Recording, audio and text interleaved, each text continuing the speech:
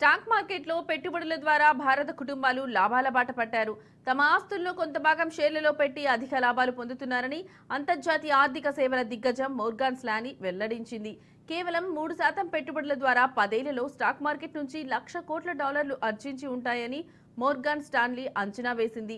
గత పదేళ్ళలో భారత కుటుంబాలు తమ సంపదను ఏడు వందల పద్నాలుగు లక్షల కోట్ల మేర పెంచుకున్నాయని అందులో పదకొండు శాతం స్టాక్ మార్కెట్ నుంచి వచ్చాయని మోర్గాన్ స్టాన్లీ తెలిపింది. అయితే ఈక్విటీల్లో భారత కుటుంబాల పెట్టుబడులు ఇప్పటికే చాలా తక్కువేనని Morgan Stanley India MD Ridham Desai అన్నారు. మొత్తం ఆస్తుల్లో మూడు శాతంగా ఈక్విటీ పెట్టుబడులు మున్ముందు సంవత్సరాల్లో రెండంకెల స్థాయికి పెరగవచ్చన్నారు.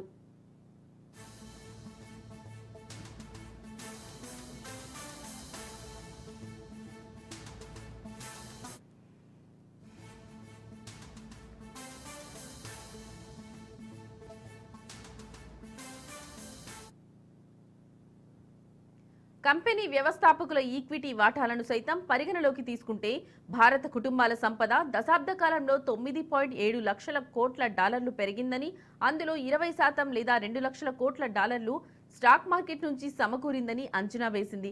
ప్రస్తుతం భారత కుటుంబాల ఆస్తుల్లో ఈక్విటీల వాటా చాలా తక్కువే అయినా పదేళ్ళలో స్టాక్స్ వీరి పెట్టుబడులు గణనీయంగా పెరిగాయి. ఇకపై ఈ పెట్టుబడులు మరింత వేగంగా వృద్ధి చెందనున్నాయని నివేదిక అంచనా వేసింది.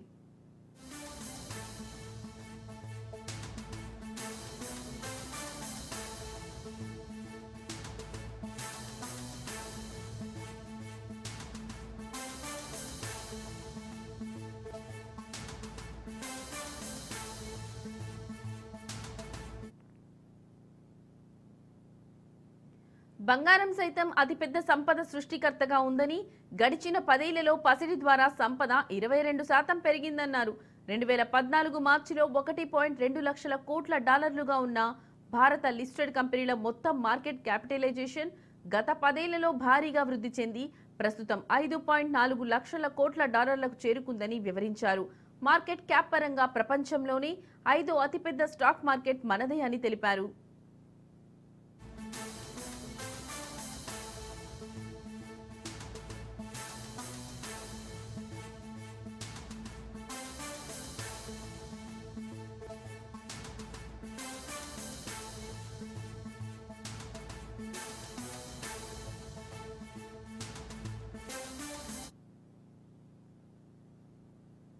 ప్రపంచ మార్కెట్ క్యాప్లో భారత స్టాక్ మార్కెట్ వాటా రెండు వేల పదమూడులో ఒకటి పాయింట్ మూడు శాతంగా ఉండగా రెండు వేల ఇరవై నాలుగు నవంబర్ నాటికి నాలుగు పాయింట్ మూడు శాతానికి పెరిగింది. ప్రస్తుతం ఉన్న అన్ని దేశాలతో పోలిస్తే రెండో అత్యధిక వాటా మనదే.